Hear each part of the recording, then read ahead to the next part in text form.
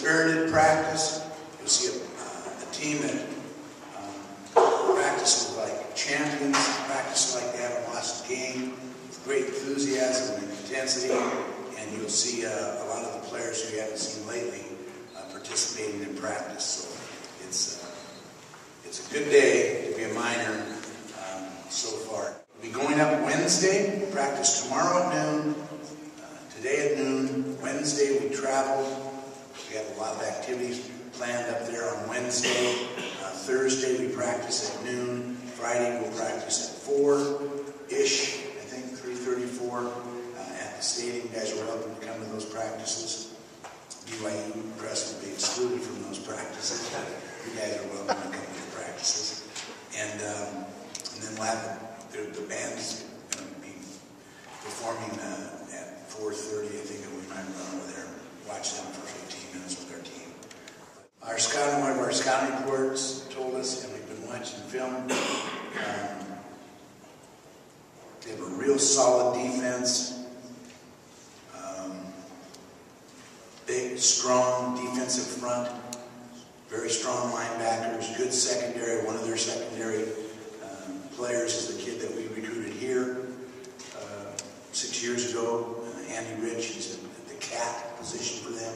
I coached his dad, and I know his dad and mom real well. They visited here before he went on his mission, and now he's starting senior, so it makes me feel even older when I see him and Bronco Melton, Men- Mendenhall uh, out there coaching. I see those guys, makes me feel kind of excited to compete against them. But offensively, 6'6", 315 across the board on offensive line. Average age is about 32. Uh, four kids. Um, and uh, very good offensive line. Huge. A young quarterback that's a true freshman. Uh, Jake Heaps from uh, Issaquah, Washington, nationally. But now he's playing. He has 12 games under his belt. Probably would have liked to have gotten him out of the first game to go against us. But now he's he's a vet. He's going to be one of the best quarterbacks in the history of BYU. He's very, very good, very accurate with the ball. Uh, they're not doing their whole offense with him yet, but he will be a great player there, and he's a very good player now. Solid running backs that are hard to bring down, that will run through tackles. That's a major concern I have for our defense right now is that we haven't been tackling a lot. Um, we tackle every day, and today will be probably the last day that we tackle and bring anybody down to the ground. It'll be, we're going to be going pretty light. So, um, missed tackles is a big concern against this team. Um, and they got receivers that catch the ball. So, and their special teams are solid. They're a solid football team that could be one of the hottest teams in America, one of the best teams going into the bowl game with their record. Their defense has been the biggest difference between their first five or six games. Um, Coach Mendenhall took over the chore of calling defenses, kind of became the defensive coordinator, or at least the defensive play selector for defense. Bronco did, about halfway through the season. So they're running the same defense, but they're just doing those things at different times during the game. And it just seemed like he had, it just kind of gave more uh, to the defense, and uh, they played better defensively.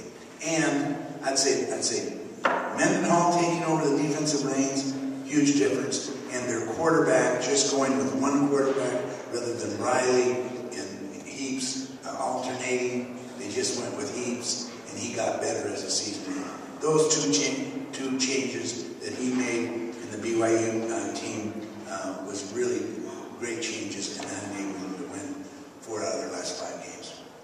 When I was at Weber State.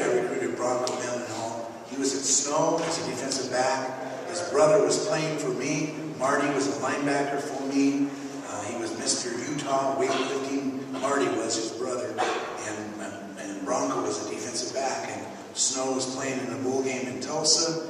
And uh, I bought, joined the Boosters Club at Snow and bought a ticket for the plane and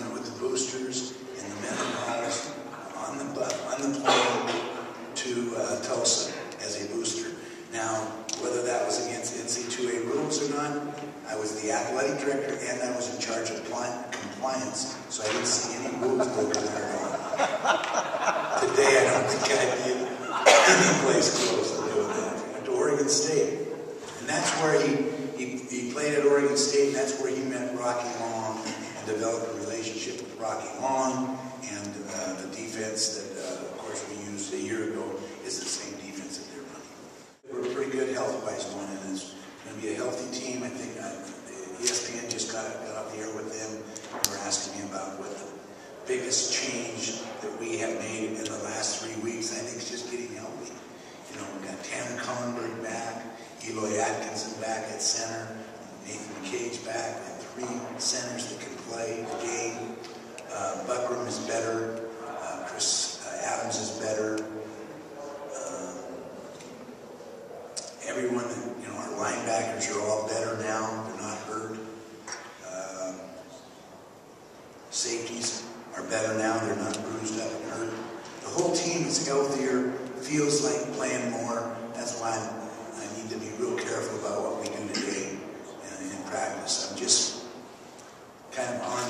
thin ice right now, seeing how this practice is going to go. I want because it's going to be a little bit difficult in the rough. We're going to hit each other a little bit, but I want to make sure that we stay healthy. So this will be the last of the um, and kind of getting chicken here to do what we're planning to do, but we'll see how that goes. Trevor's uh, no worse. He's no better. He's uh, he can. There's nothing that can happen to him worse than it is right now. There's and there's no healing process at all that can happen. He's going in Monday to get operated on, and it'll be a, it'll be an extensive operation on his ankle. So he's just doing this for the pure uh, pride of El Paso and UTEP. He could pull himself out, should have, could have pulled himself out at any time in the last four or five games, went in for the surgery, been ready for the combine, being ready for the All-Star games, and he chose to stay with the team and to do his best, get us to a bowl, and then be the quarterback in the bowl. And without Trevor, we wouldn't have been here, and without Trevor's excellent play Saturday, we won't win.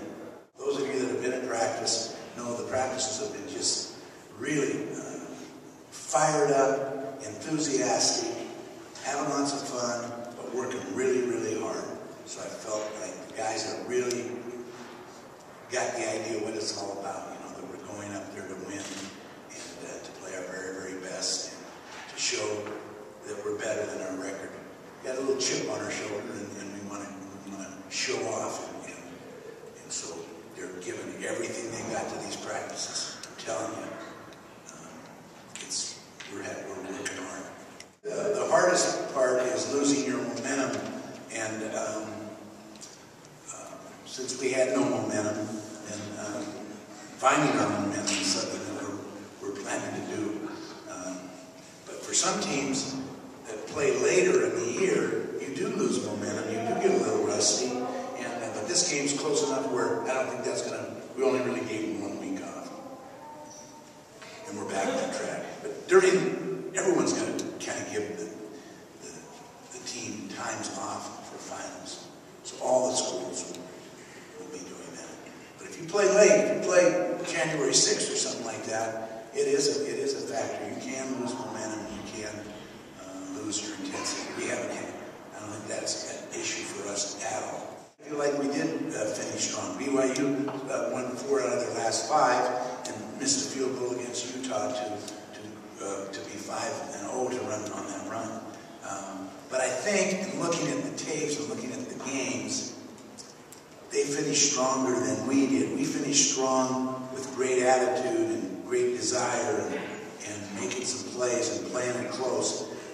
They, their team improved, their quarterback improved, uh, their defense improved as they finished the season. Um, I don't know if our quarterback improved as we finished the season. He played as hard as he could possibly play and played as good as he could possibly play. I'm not saying that, but you know he's he's a senior. The difference in improvement for a senior is going to be a little bit. For a freshman, it's going to be a lot. On defense, the key to victory is stopping the run, putting them in long yardage situations where they hand the ball over their quarterback and make him make the plays. And then we have to get to him in that situation to cover the guys. On offense, uh, we need to, uh, uh, our pass offense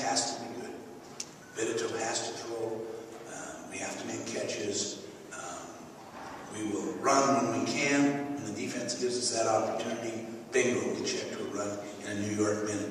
But um, for us to win, we feel like we're going to have to get the ball downfield and throw it. Play good in special teams. Special teams is kind of a, but we've got to stop their run, make put them in a throwing situation, and we got to connect on our in our passing games. I guess is what I really mean. Not that with Buckram back, he's running really good. That's going to help our our uh, running game, but that's not the problem. Is they slant so much. They got a lot of guys in the box. They take away the run with their alignment. Um, they have one more guy up there than you can block a lot of times, so they force you to throw. If they if that's the case, if they align like that, then we better throw the ball and we better catch it and we better be accurate with it. If that's not the case, then we'll run the ball. We're going to do what they give us. But I got a hint, I got a feeling that they're going to stack the box, not allow us to run, and, and make us throw to win. Now, Banyard isn't no slouch either.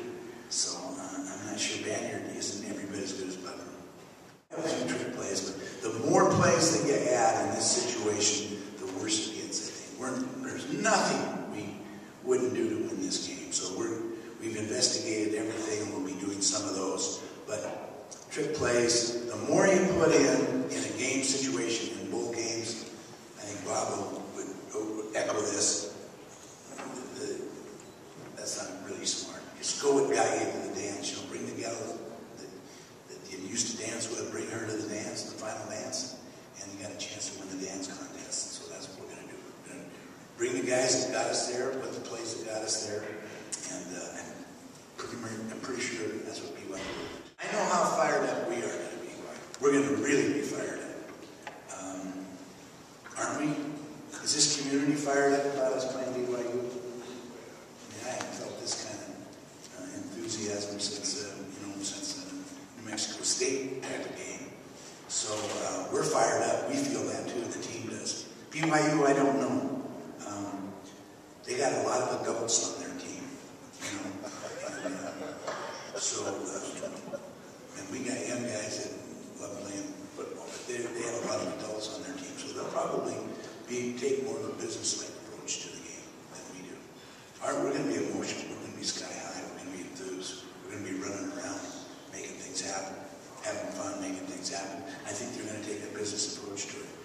Not saying that they won't stick you right in the mouth,